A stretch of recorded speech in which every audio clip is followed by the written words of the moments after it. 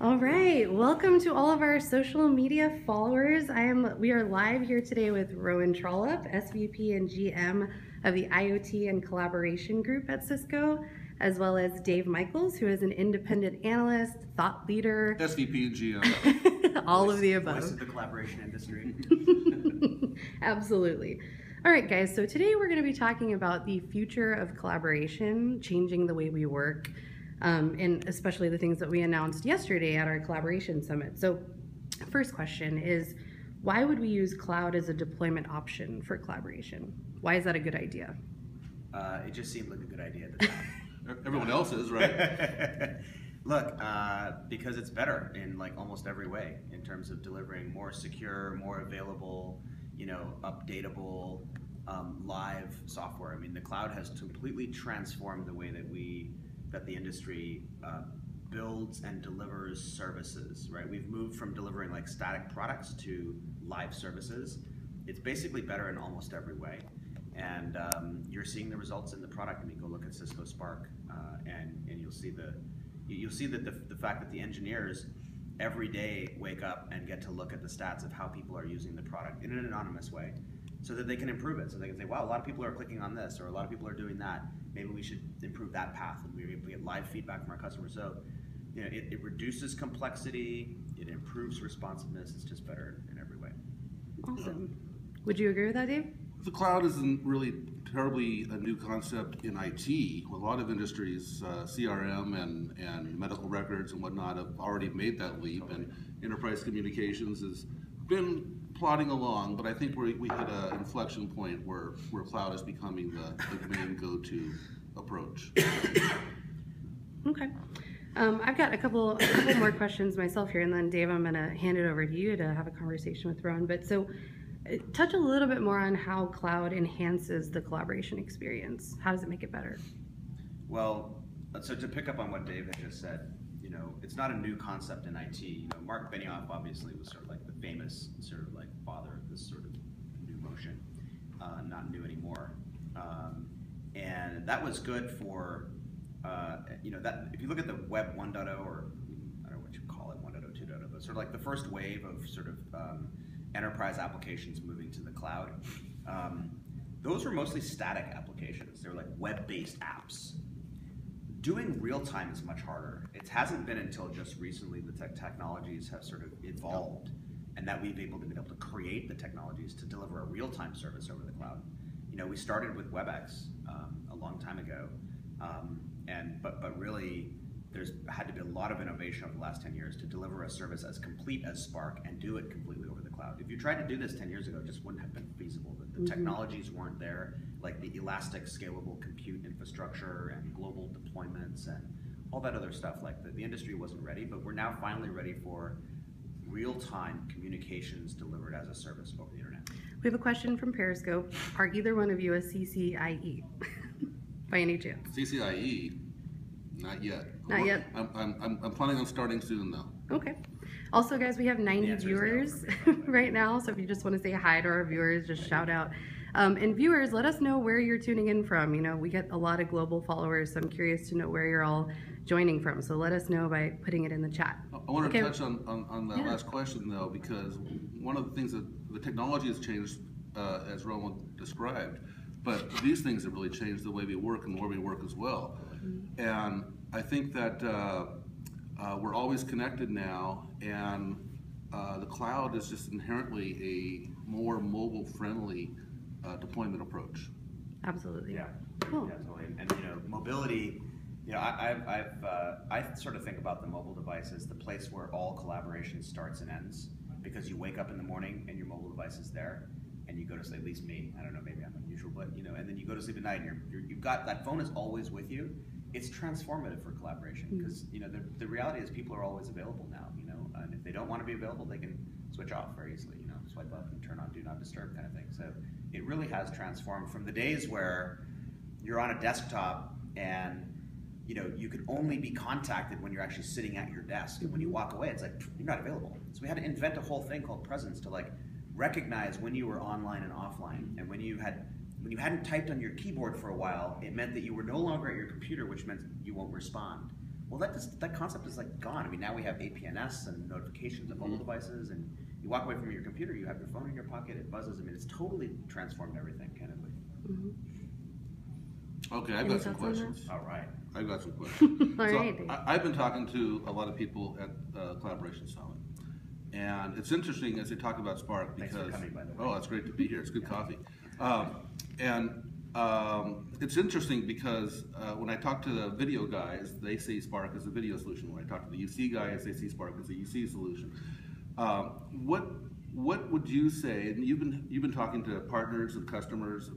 What would you say is most misunderstood? Uh, What what is what is the conversations you're having In the last day or just in general? since these announcements here? Okay. Um, I think the thing that's most understood is Mis- misunderstood. misunderstood. Yeah, good point. Uh, the thing that's most misunderstood is that under the umbrella of what what is Cisco Spark, you know, which basically has the three. We talk about three big categories of capabilities: messaging, calling, and meetings. Uh, the calling piece is the is the least understood, surprisingly, uh, not surprisingly, and um, the messaging and, and meetings piece, I think people get. instead of like, okay, you get meetings and you can plug in your hardware endpoints now. You know, you're starting with your SX10 and we'll roll out with the MXs next year. Um, so I think that uh, idea is understood and messaging is understood. It's like, okay, it's everything in messaging. Um, so the first, probably biggest misunderstanding is what about that calling piece and how does this affect HCS and everything else? And I look at it from the customer back. From the customer's perspective, I don't really care how I get a phone on my desk. I just want a phone on my desk. Just wanted to work. Yes. And I want a soft client that works really well so that I can step away from my desk and still receive my phone calls and I can make calls on my desk line. And if somebody calls my desk, it's going to ring here. That's number one, the basic capability they want. They want some basic functionality, you know, call hold, transfer, bu- bu- bu- bu- bu- you know, music on hold, you know, voicemail, etc. How that gets delivered is not relevant. I mean, it's not something that the customer should really care about. And what we've tried to do is, is explain to the world and to our customers is look, you could sell to every customer, every customer can now buy this awesome new service called the Cisco Spark service. And it comes with three capabilities messaging, calling, and meetings. Calling can be delivered in a variety of ways. It could be delivered and connected to your existing calling system. So many customers would say, Well, I already have a phone system on my desk. The answer there is great. You can still use the Spark service, and we're going to hybrid connect your existing uh, premise UC in. I'm a customer, then the next type of customer is that's great, I want Spark and I want the meetings and messages capability, but I'm an HCS customer. Hey, no problem. We can still give you phones on desks and continue on that path with HCS.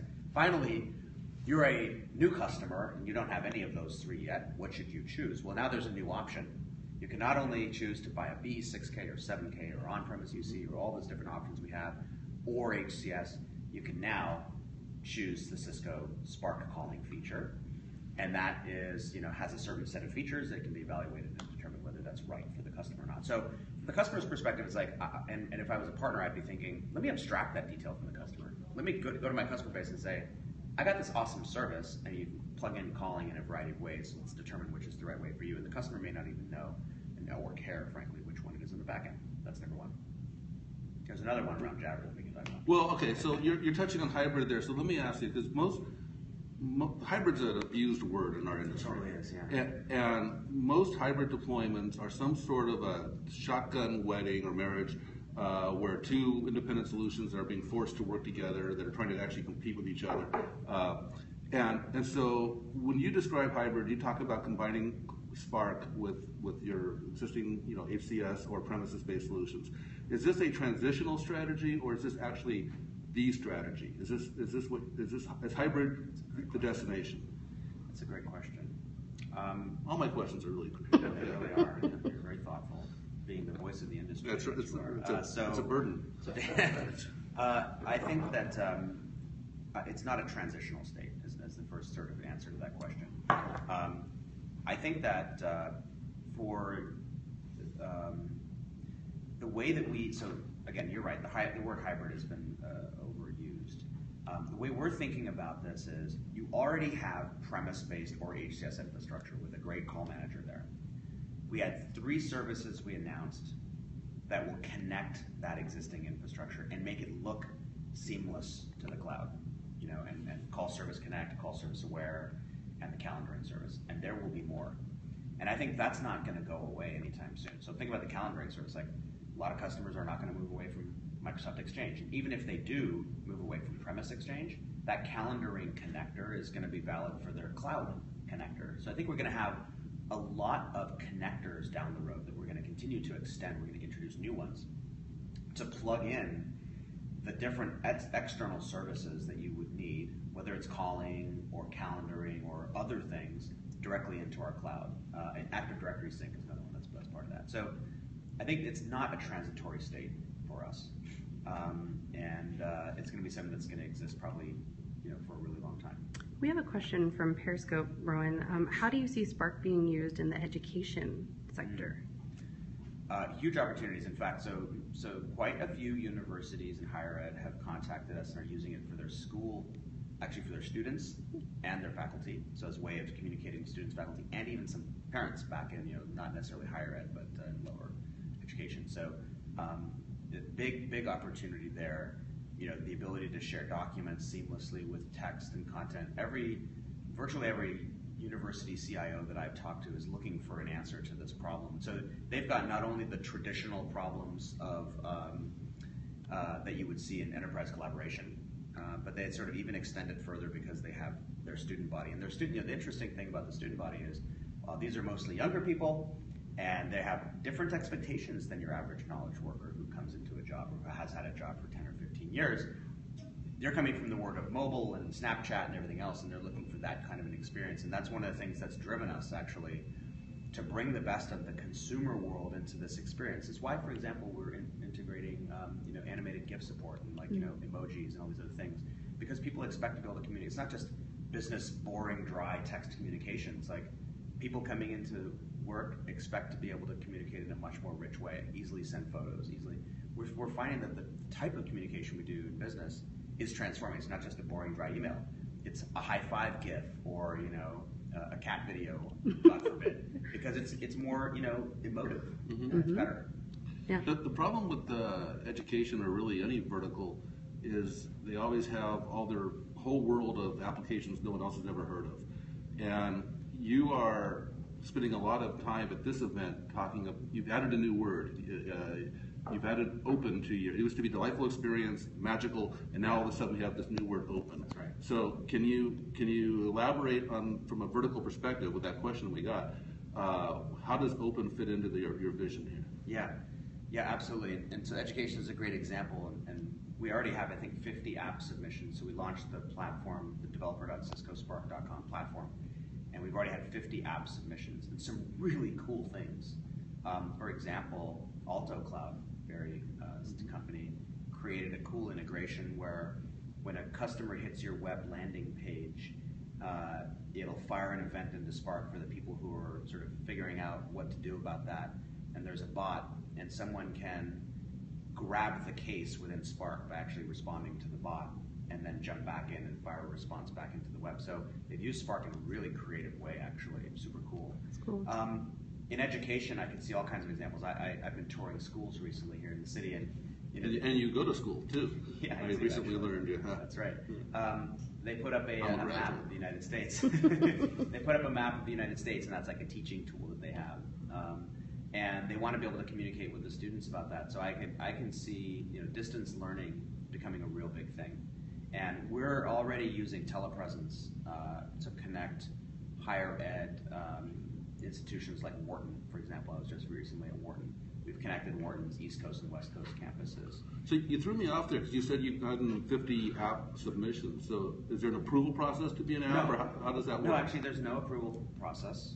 We don't. We're not maintaining a marketplace or sort of some sort of control point.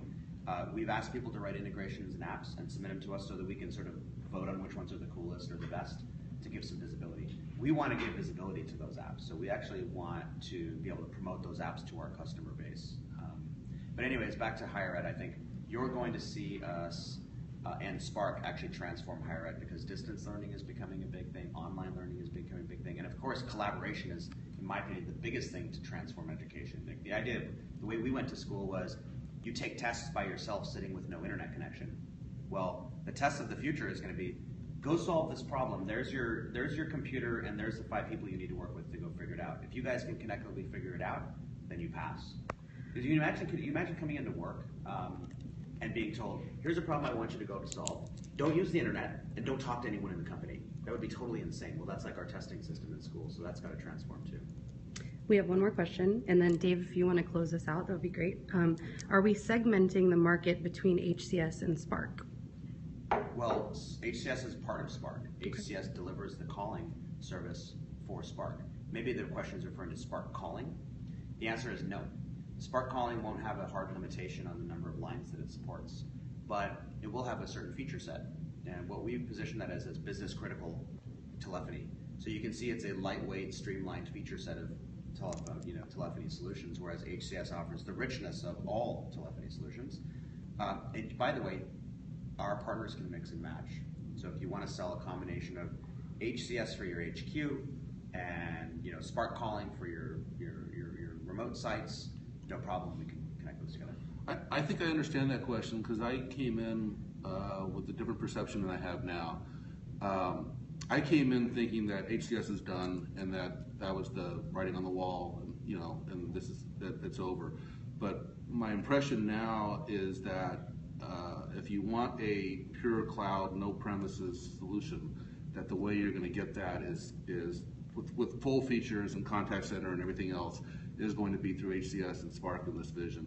And probably, if anything, HCS is going to see uh, is going to be stimulated uh, some uh, demand increase. Yeah, I think so too. So I've gone through that. I think I understand that question. 'cause I've gone through that cycle. Okay. All right, so I get to ask the last question here. So Last uh, question for Periscope, and then we're going to switch it over to we do- Twitter. Then we do Yep. uh, chat. Um, You've announced uh, quite a bit uh, yesterday and today, and uh, you even pulled the CEO out of the hat.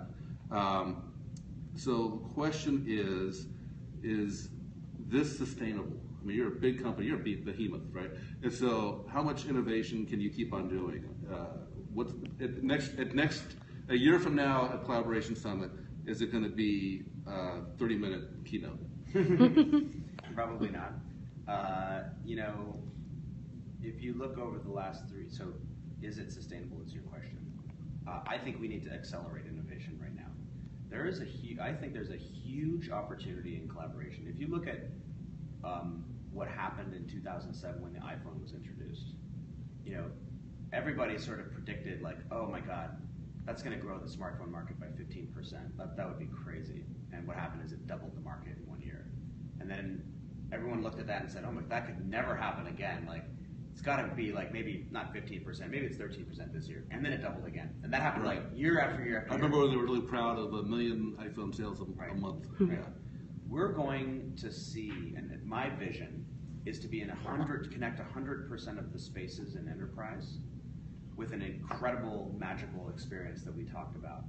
Um, and that everyone in business is connecting and communicating use a, using like a cornucopia of tools, not just like Spark, but you know all kinds of different things tuned for their industry, built on an incredible platform. I want Cisco to be the platform that powers that innovation. We can't even imagine what that's going to deliver. As we open it up to the broader world, you're going to see it accelerate because it's no longer confined to the behemoth, right? To us, it's all these other incredible companies doing incredible things. That's where my focus is: is enabling that platform to power all those experiences and getting that platform plumbed into my to my customers, uh, and then using that to power the connection of all the spaces. Those are the three things I'm like just like laser focused on. So I think uh, no, it's not going to slow down. It's going to speed up. Wow. Well, we'll see. Yeah, we Yes, will. we will. All right, thanks guys for the Periscope. So we're going to switch this over to a tweet chat. Uh, use the hashtag Cisco chat, and we will join you guys there. Thanks everyone for joining.